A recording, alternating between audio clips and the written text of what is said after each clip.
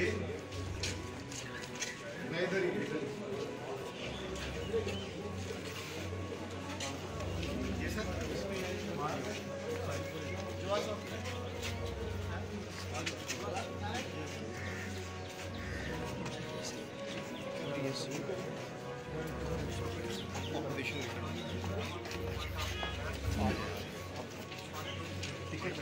एक दफे एक मिनट।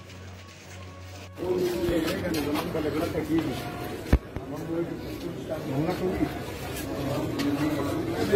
कहेंगे आपको भी बनाया जा रहा आप पीपल्स पार्टी से ये बिल्कुल एक क्राइम केस है